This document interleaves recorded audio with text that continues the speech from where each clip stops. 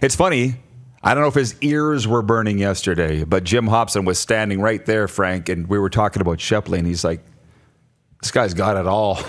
Uh, yeah. Were you sitting? You were part of that conversation, were you? Yeah. not? I just followed him on Instagram. So Well, you hadn't before. he's got one more. No, I hadn't. I hadn't. Uh, my fault. I apologize. But no, he's, he's got it all. He's got the star quality, right? As a person, you clearly can see it, right? Just coming through the screen.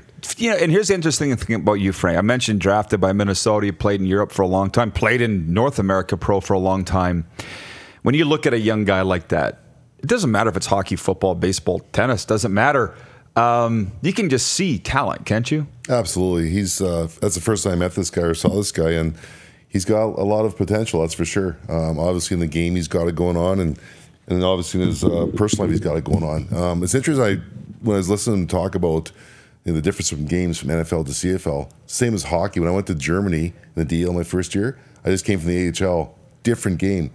In Europe, the bigger ranks, I had to adapt. But I think as athletes, you just do it because you're young, you you want to perform, and you just want to win and do the best you can. And he seems like he's the same type of guy. He'll be he'll be phenomenal. Do you think too much is made out of that?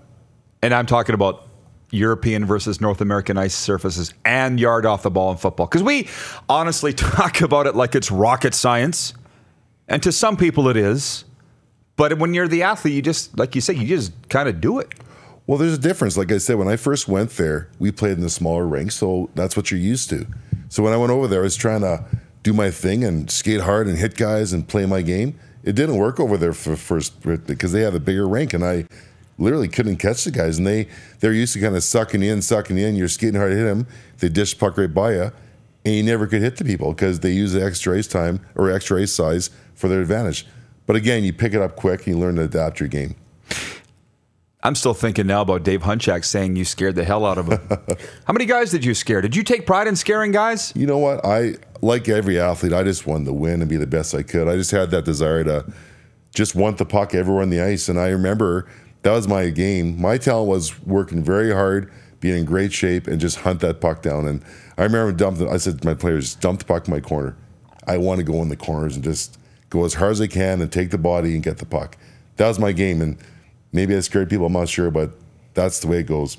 Mm-hmm. Yeah. Well, look up Frank's Hockey DB, by the way. That's the difference and why I asked Frank about looking at it, because I think we're the same age. Somebody Dakota's age, he's so young. He's got everything in front of him. Like his Wikipedia page is short. It's 2018 New York Jets, 2019 or 2018 to now with the Riders. Frank's d- hockey DB is like this. What was your favorite stop? Your favorite home rink in pro hockey? That's a good question. Um, I'm the type of player that really enjoyed everywhere I went. I went to, I've been to a lot of different countries, a lot of different cities. Um, I have favorites in every one of those places. Sheffield, England. Sheffield, yeah, you're a big uh, UK guy. Yeah, I had, a, I had a great time there. We um, had a phenomenal team, won the championship there, played there three years. The fans there were phenomenal. We were treated like gods in that city. And Sheffield's probably about a million people um, large. And we were so big that we were on TV, radio, newspaper every day, every day. And we won. And we did well. And I had a good reputation there as you know one of the fans' favorites. And I, I swear that I go grocery shopping on a day off and I'd have a lineup of people asking for autographs. That was kind of a neat experience. But that's the way it was in Sheffield.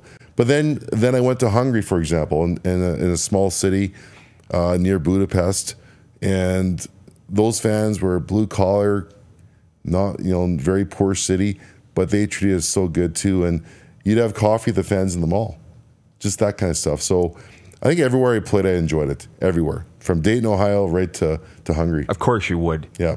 Didn't you play in Wichita for a while? No, I played in Dayton, Ohio, but uh, Dayton was it maybe against Wichita. against Wichita? Yeah. Yeah. I just remember, and we'll break here, but I was talking to one former pro guy who had played in Austin, Texas for quite a while, hockey. And I was just there. I came back and I said to him, Man, you must have loved playing in Austin, Texas. And he goes, uh, Well, when I got there the first year, I was traded at New Year's. We were in first place. We missed the playoffs. Owner had a houseboat. We all partied on it. He- they loved it for different reasons. Yeah. Yeah. Right? Yeah. Frank was there for the hockey.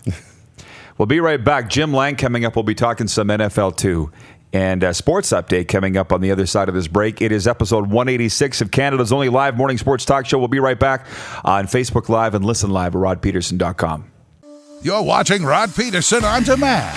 For more of The Rod Pedersen Show, visit rodpedersen.com or follow Rod Pedersen on social media.